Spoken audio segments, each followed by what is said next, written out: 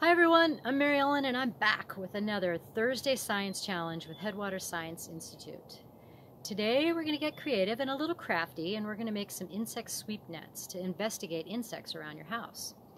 People who study insects are called entomologists. Insects have six legs and are some of the most common species in the world. Did you know there are over 12,000 species of ants in the world alone?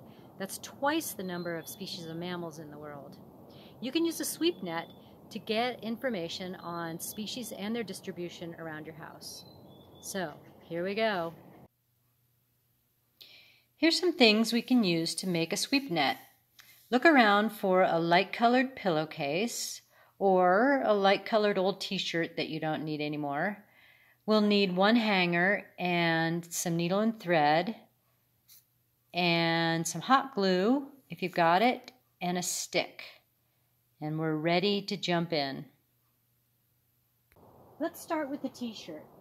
I'm going to draw a shape like this, a bell shape, on my t-shirt. So take a marker and make a big bell shape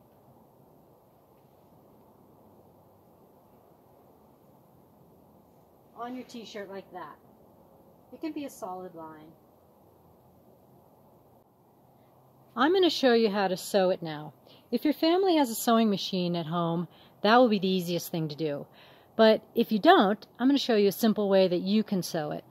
I got a needle and some thread, and I put the thread through the needle, and now I'm going to show you how to make a knot at the end.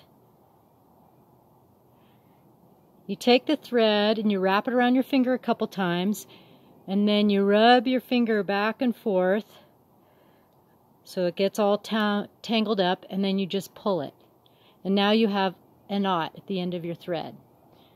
Then I'm going to start at the bottom and I'm going to take my needle and come straight up through my t-shirt. I haven't cut it yet. And I'm going to come up like this. And now I'm going to go down. And it's that simple.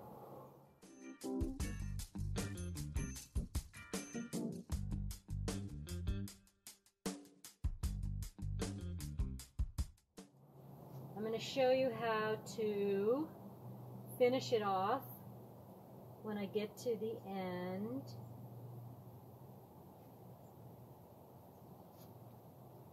It's the same as when we started. We just want to tie a knot in the thread so that it doesn't get pulled through. So I'm going to come up and then I'm going to take a big circle like this and go through it and push it down to the end. And do that a couple times and that'll tie a nice knot for you. Then I'm going to cut it now I'm ready to cut my shirt. It's sewn right around the outside here. I didn't sew right here. That's going to be the opening of the net. Now I'm going to take my scissors and cut to the outside of the stitching.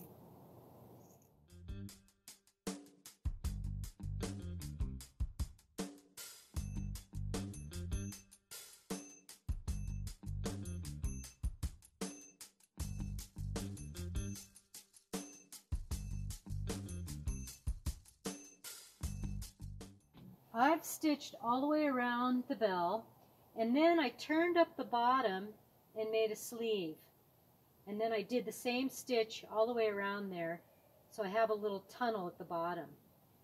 Now I'm going to take my hanger and I'm going to unwrap it and kind of straighten it out make it a little bit roundy because I'm going to thread this through that tunnel. So I left an opening here. I didn't close it up. And I'm going to thread the hanger all the way through until I get back to that starting spot. And you can see now I'm getting the rim of my bug net.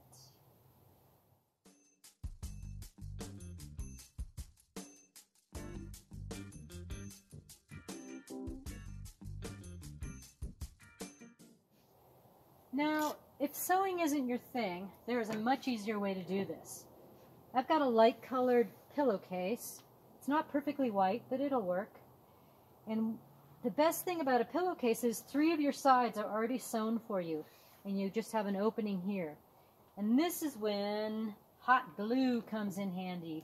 All you need to do is do a strip of hot glue across the top, fold it up, and you have your sleeve for your hanger.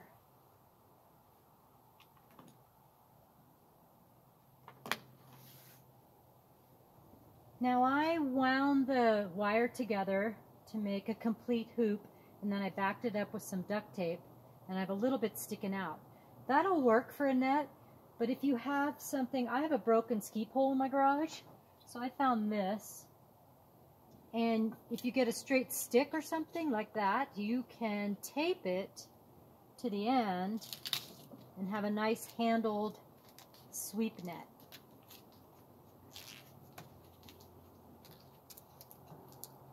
So you can get way out into the bush. Okay, now that we have a bug net, let's find some bugs.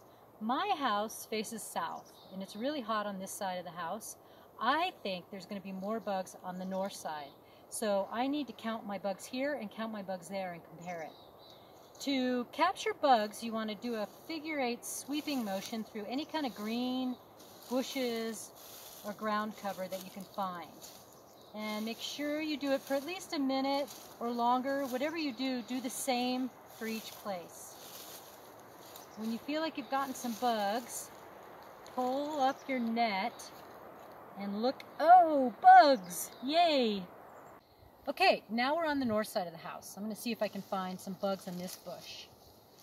Remember, insects have six legs. If you find something with eight legs, you're looking at a spider. Invertebrates have many legs or no legs at all. So keep looking for something that has six legs. Insects are a really important part of our ecosystem. They're decomposers and they're pollinators.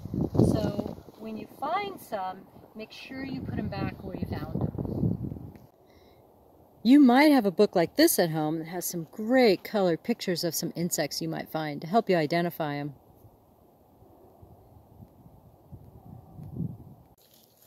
I'm finishing up an insect survey on the north side of my house and let's see what I've got. Oh, it looks like I've got four insects, definitely have two spiders, and then there's something with a lot of legs on it.